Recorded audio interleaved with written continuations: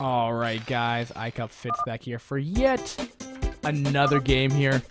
And, well, so let's introduce our players. It's going to be game number two of the finals of the A, or again, the DC tournament run on January 30th, 2013, run by iCCup and run by actually iCCup Boxer, the guy from Turkey. This, uh, this admin is awesome for running this tournament. And it'll be your caster iCCup Fitz, none other than him awesome.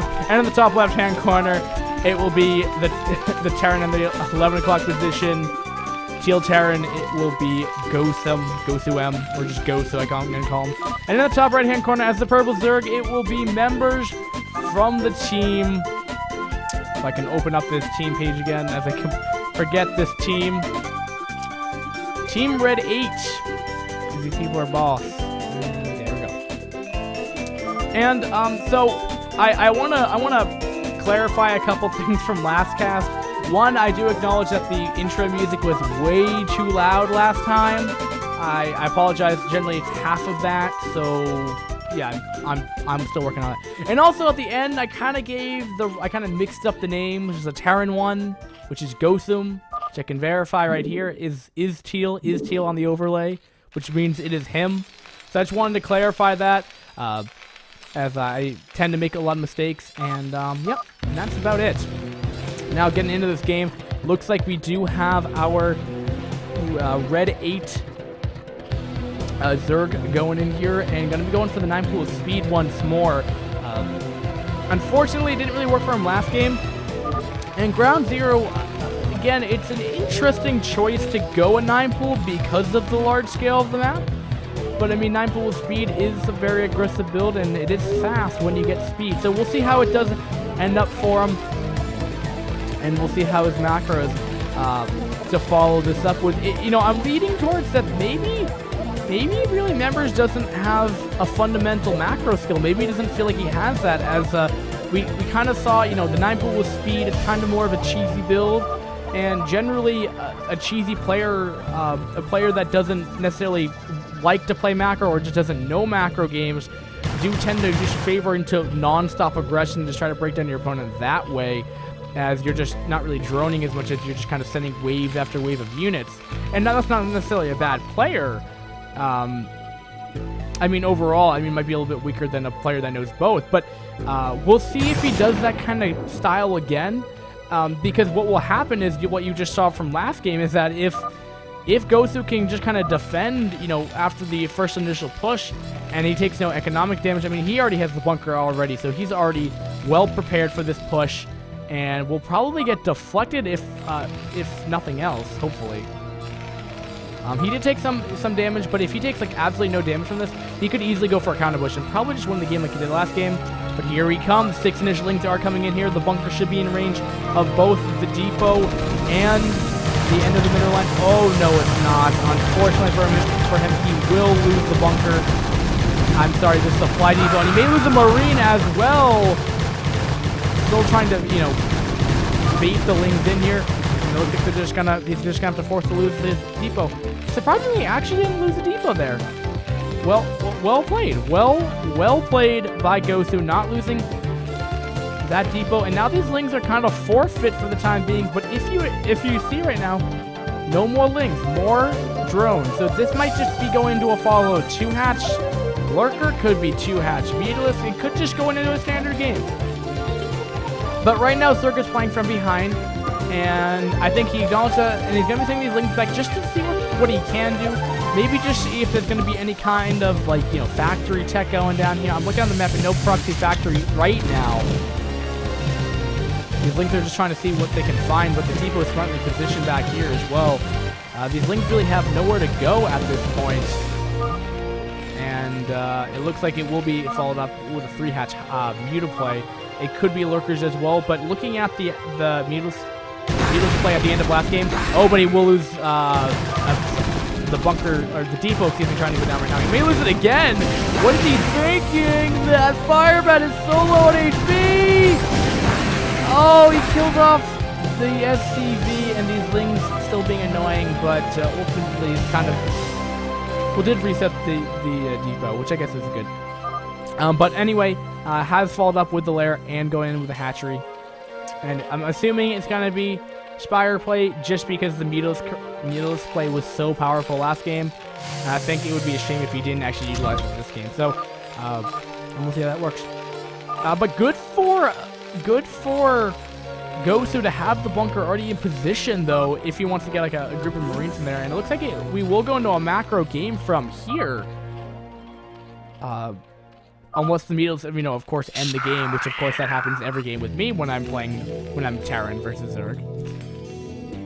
When that rarely happens, when I have 1 in 10 chance of that happening. Because I play random. And there goes on the Spire right now.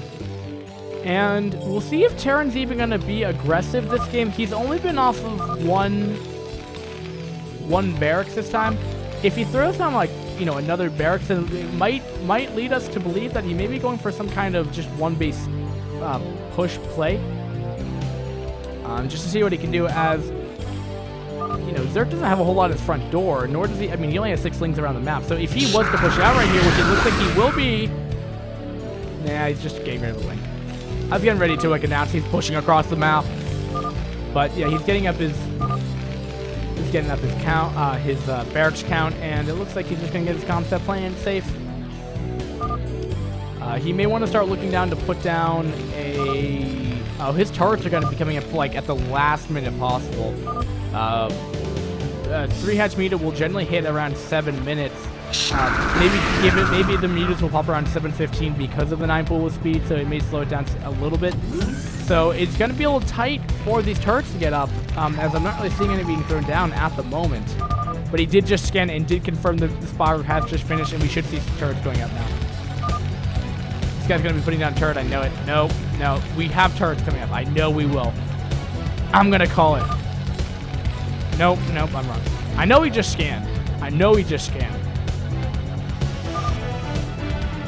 Know he just scanned. I know he's going to put down some turrets. What kind of Terran doesn't put up turrets? Oh, who called it? Like 720. That's good enough. I was pretty close.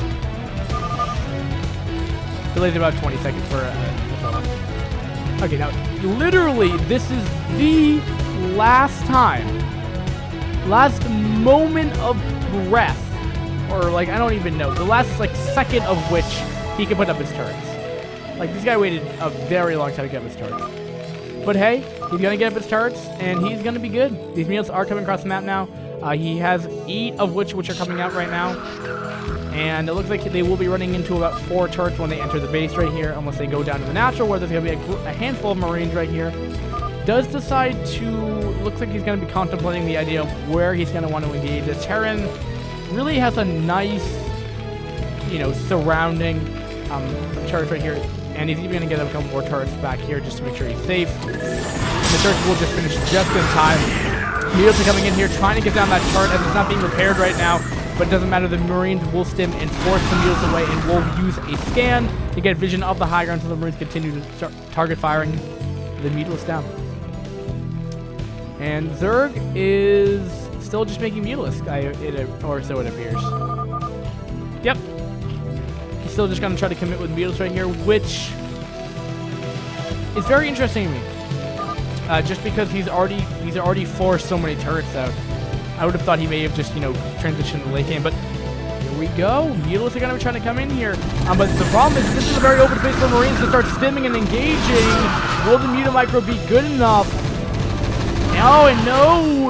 Missed kind of the, the, the, parry on that one, the rally or whatever you want to call it. Ooh, it taking a lot of hits off, off, the, off the Marines right there, only having six Mutalisks left over And we'll see what he can kind of do with these. I wait for them to, you know, heal a couple, you know, a little bit more HP before they start going in again, as they took so much fire from the Marines. But if he makes more Mutalisks, aha, he's gonna make Lings now. You know, I like this play. If he's gonna be aggressive, at least don't make more Mutalisks, as it's kind of forfeit now, because there's so many turrets up right here, and he's even just lost, you know, his six to one. Oh, no, he made, he made a whole other round of meatless. I mean, that's nine of them. So this could actually prove to be a threat if he could even start getting up his, uh, you know, shots off or parries. I forget what they call parries. Is, is that every round that they throw it off? A parry? I know it's a Glave Wurm, but, or Glave Wurm, Glave Wurm, whatever you want to call him.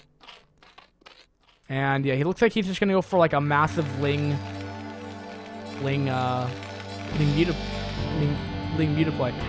Uh, I was gonna say he may go Crazy there, but I feel like he probably need three base for that. And he's already getting lurkers, so he's already going that mid-game lurker, uh, lurker army anyway. So,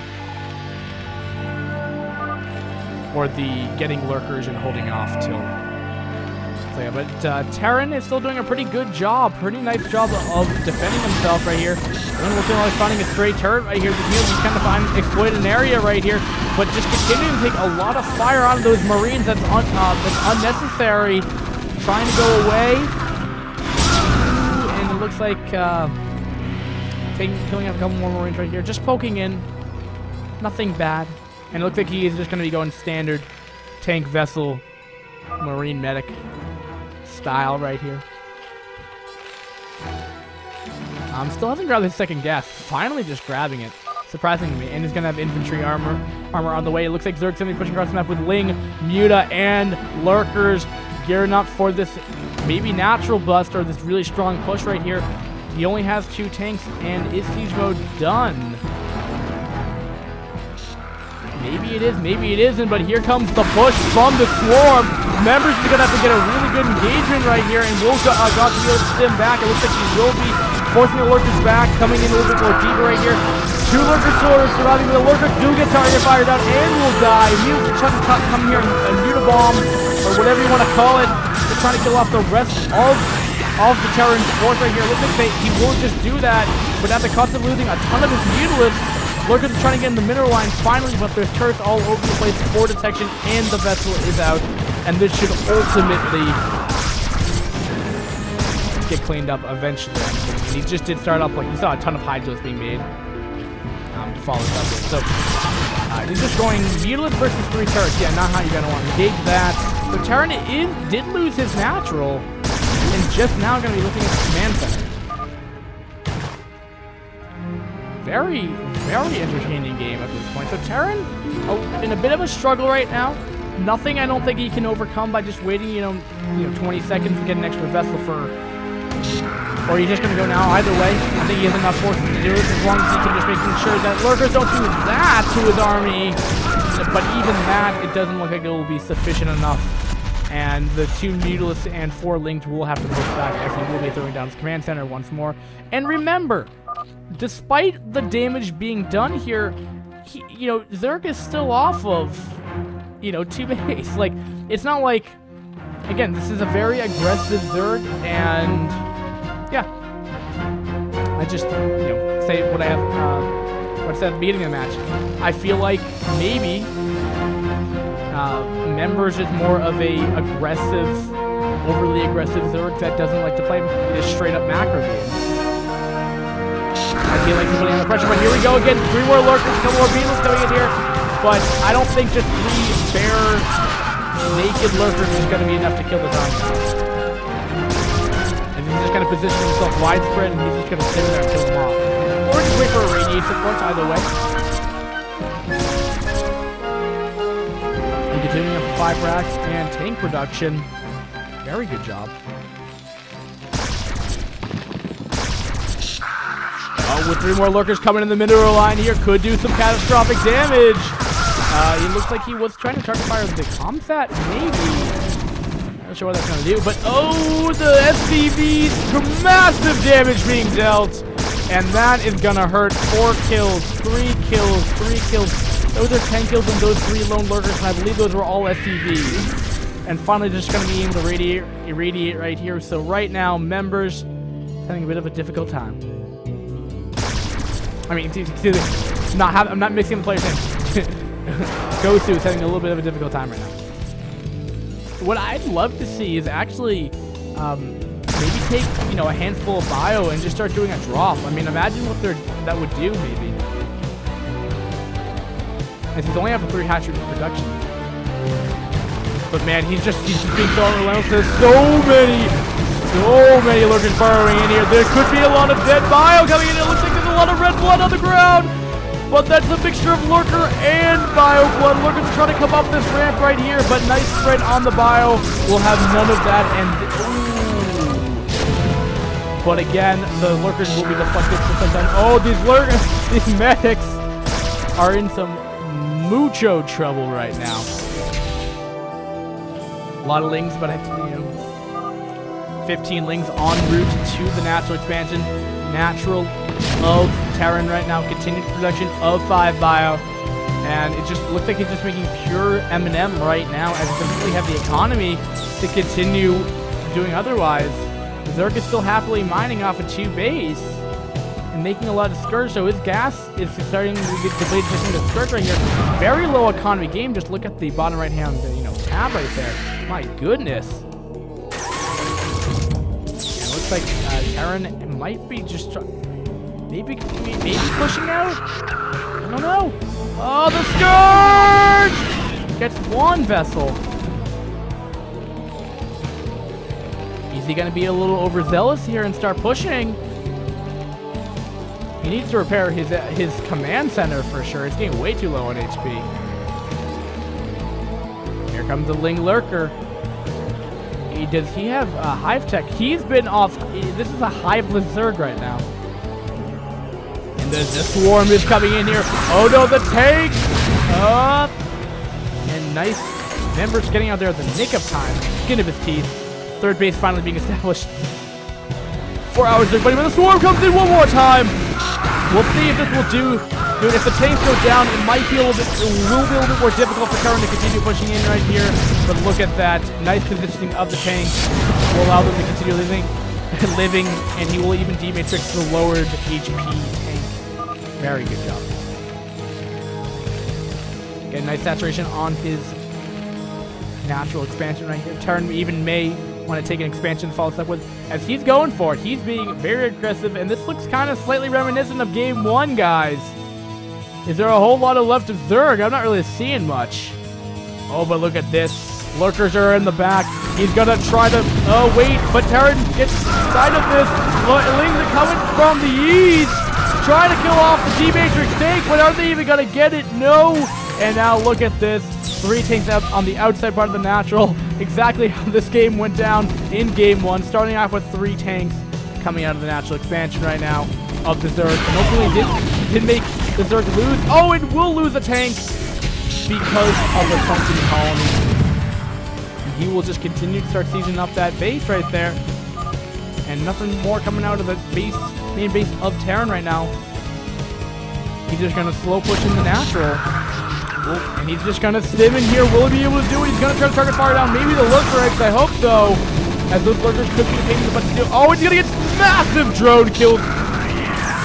Drone genocide happening over here. And it looks like this natural is under siege and probably will die momentarily. Marines will be target firing down the hatchery right now. What are the tanks going to be doing? Tanks are continuing sieging the mineral line, killing off the very last drone. And this hatchery will go kabloomy right now. And this game looks like it's going to be over soon, as I'm not really seeing a whole lot of help of that third base really serving much of an economic means for the Zerg at this time. How utterly butchered that sentence was, you get the point. Looks like this game has come to a close. Unless Zerg has... Oh, but will lose a tank, which will slow his progression of winning this game unless he decides to run up this ramp, which might be suicide with his bio, but he might be able to do it anyway because he has so much bio coming in right here. And we'll kill off the Geyser. Still no follow-up expansion right now. he decided to repair it by 200 HP. Oh, looks like he's gonna be taking the bottom left-hand base right now. Did just scan this three o'clock, uh, this, yeah, this three o'clock.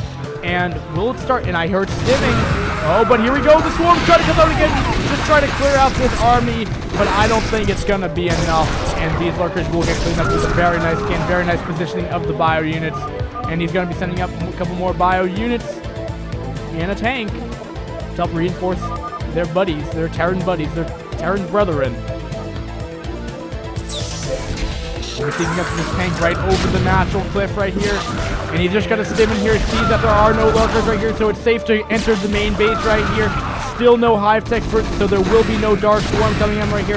Lings are trying to be trying to do what they can do, but the Marines will just stim and just target fire the hatcheries. There's the GG by members. Congratulations for for GoSem for winning the iCCup January the, the January 30th DC rank iCCup tournament. Congratulations, you win your ladder points and very well played for defending against that all-out aggression granted by members. And that was very entertaining series, guys. iCCup Fitz signing out. Have a great day, guys. Peace.